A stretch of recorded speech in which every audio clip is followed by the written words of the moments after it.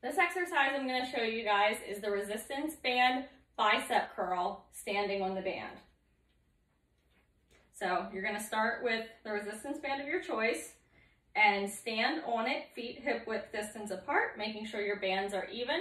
Now your starting position is gonna be arms down at the sides like this, palms facing forward, gripping your resistance band handles, and then simply just curling up and returning to the position.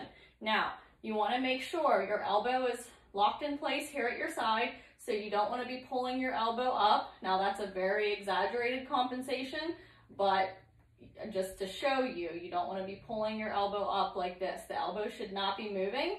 You're just simply hinging at that one joint, hinging at your elbow. So since that's the only joint you're hinging at, watch hinging at the wrist also. You don't wanna be curling your wrist like this because you could hurt yourself. So simply keeping the arms, the elbow locked in place at your side, arms straight from the elbow to the wrist, and just curling straight up. Another thing, you wanna make sure you're not rounded forward or leaning back. Nice strong stance, straight back, straight from the elbow to the wrist, holding my resistance band, starting at my side, and just curling up, bending at the elbow only. Again, from the front, curling up, bending at the elbow only. So pretty simple. You guys can try it out.